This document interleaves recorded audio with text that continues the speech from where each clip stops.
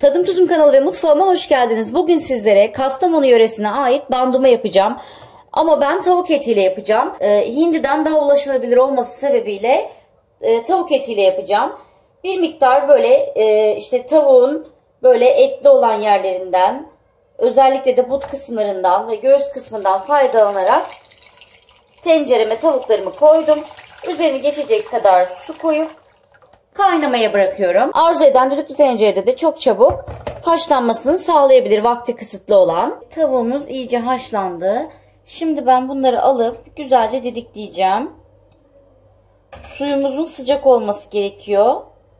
Yufkalarımızı yani şebitleri ona batıracağız. Biz şebit diyoruz bilmiyorum. Yufkadan biraz daha farklı oluyor. Göstereceğim zaten. Bunları ben şimdi tek tek didikleyeceğim. Yan tarafa da görüyorsunuz 150 gram kadar tereyağı aldım. Bu yemeğin özelliği böyle tereyağlı olması. Korkmadan tereyağı atabilirsiniz. Suyumuz bu kadar bize yeterli olacaktır. Evet şimdi bandumamız için kullanacağımız şebiti göstereyim. Bakın böyle yufkanın biraz daha pişmiş oluyor. Biraz daha kalın oluyor aslında. Şimdi ben bunu bu şekilde katladım. Ee, şöyle e, biraz verevine kesikler atacağım. Parçalar çıkaracağım buradan kendime. Şöyle güzel kesikler elde edelim. Bu şekilde. Bir yanıma tüm malzemelerimi aldım. Tepsim falan her şeyi ayarladım. Evet bunları şimdi hepsini keseyim. Sonraki işleme geçelim. Şimdi bandumanın diğer bir adı da bandırmadır. İsmi nereden geliyor? Şöyle yufkalarımı biraz kenar alayım. Şu kestiklerimle bir başlayalım yapmaya. Ben de size göstermiş olayım. Eritilmiş 150 gram tereyağım var. Burada e, yaklaşık 2 avuç kadar cevizim var. Ve e, kaynak tavuğun suyu var. İlk başta haşladığımız tavuğun suyu var. Şimdi şu kestiğim banduma dedik, dediğimiz kısım burası oluyor. Şöyle e, tepsimin altını birazcık yağlayayım. Şöyle biraz yağ gezdirelim. Bunun özelliği zaten bandıra bandıra yendiği için bu tereyağına ve tavuk suyundan oluşan sosa bandırmış oluyorsunuz. Şöyle dizmeye başlıyorum. Aynen bu şekilde bakın. Bandırdım. Bu şekilde hepsini yapıp bitireceğim. Evet şimdi bakın ilk sırayı bu şekilde yerleştirdim. Şimdi ne yapıyoruz? Tekrar eritmiş olduğumuz tereyağından üzerine gezdiriyorum.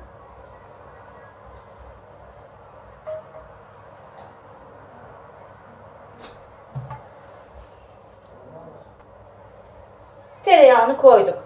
Şimdi şöyle iri kıyım cevizi gezdiriyoruz. Bu arada ben bandumanın suyunu tuz atmıştım. O kısmını söylemeyi unuttum. İster tavuğu haşlarken atın isterseniz sonrasında atın. Ama karıştırın. Bu da bu kadar yeterli. Şimdi ara ara şöyle tavuk atıyorum. İsterseniz bunu yapmak zorunda değilsiniz. Şöyle ara ara tavuk atıyoruz. Yani biz 4 kişilik bir aileyiz. Ben kendimize yetecek kadar yaptım. 4 adet zaten şebitim var. E daha büyük davet sofralarını yapacaksınız. Miktarları arttırın lütfen. Şimdi devam ediyorum. E, bu arada biraz da karabiber gezdireceğim.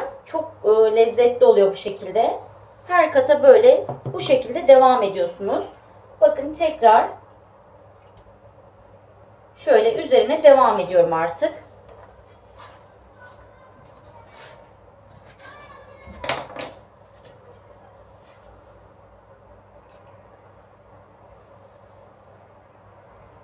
Suyumuzun sıcak olması çok önemli.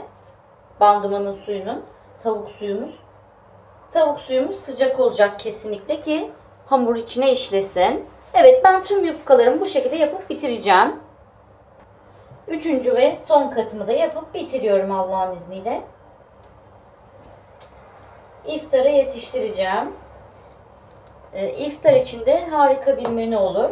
Hem e, sunumuyla değişik, göz dolduruyor. Farklı bir tarif. Kesinlikle tavsiye ederim denemenizi. Proteini, karbonhidratı, yağı hepsi içinde. Tek başına bir ana yemek bile olabilir. bandımamızın son kısmını da tamamladım. Şimdi belki e, elim sıcak olduğu için uçlarından tutuyorum. Oraları belki kuru kalmıştır. Şöyle biraz gezdirmek istiyorum tavuğun suyundan. Çünkü bir 10-15 dakika kadar fırına atmayı düşünüyorum.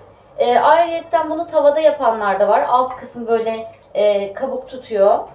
O şekilde yapanlar da var. Evet bu kadar yeterli. Şimdi kalan tavuklarımızı da ortasına boca ediyoruz. Çünkü bunun sunumu bu şekilde oluyor. Eğer tavada yapacaksanız ters çeviriyorsunuz. Ama ben şimdi bunu fırınlayacağım. Üzerine biraz karabiber gezdireyim. Biraz da ceviz atıyorum. Ceviz çok yakışıyor ama kullanmak zorunda da değilsiniz. Bu şekilde. Evet tereyağından da şöyle her yerine bolca gezdirin. Bunun özelliği burada. Tereyağını çok koydunuz diye yorum görmek istemiyorum. Çünkü özelliği budur. Bir de o yerenin tereyağını çok övüyorlar. Muhtemelen tereyağı güzel olduğu için üzerine bolca atıyorlar diye düşünüyorum. Yufkalarınız kuru kuru olur eğer tereyağını ve e, suyunu fazla koymazsanız. Evet şimdi 200 derece fırında 10 dakika fırınlamak istiyorum. Bandımamızı fırından çıkarttım. Biz böyle sevdiğimiz için üzerine yine tereyağı yaktım. Siz isterseniz yapmayabilirsiniz. Evet deneyeceklere şimdiden afiyet olsun. Kanalıma abone olmayı, bana yorum yazmayı ve beğeni atmayı unutmayın. Hoşçakalın.